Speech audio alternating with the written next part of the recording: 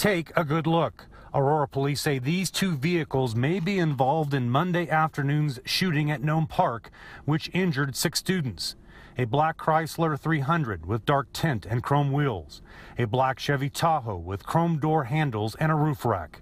I need the community. People know what happened and they know who did this, and I need them to come forward. Aurora's police chief knows the public can fill in the missing pieces. You can remain anonymous.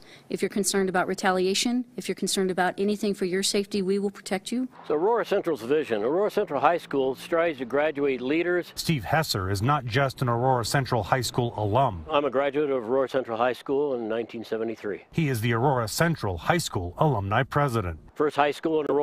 He and other Trojan alums also want you to take a close look at the pictures taken about a half block from campus, whose first graduating class dates back to 1956. This isn't what's taking place inside the school. There are great things happening at the school.